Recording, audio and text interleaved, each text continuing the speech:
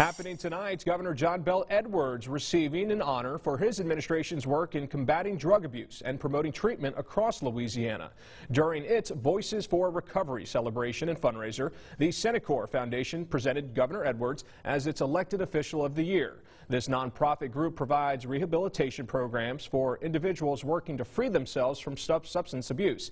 Governor Edwards also noted that since Medicaid expanded here in the state, more than 30,000 people have received inpatient or outpatient treatment for substance abuse. And the truth is, there's no family of any size who doesn't have at least one family member who suffers with some addiction disorder, you know, and, and, and substance abuse uh, issue. So to have Cenikor here uh, making sure treatment is available for more people, bringing awareness, and really trying to destigmatize uh, addiction disorder, I think is incredibly important. And the funds that we raise here tonight will help us reach out to more individuals that are seeking treatment and provide those to them. And also to help enhance the services we give them through job training, education, and family reunification. Since opening in Baton Rouge in 2001, Cenikor has assisted more than 6,000 people in receiving life-saving treatment.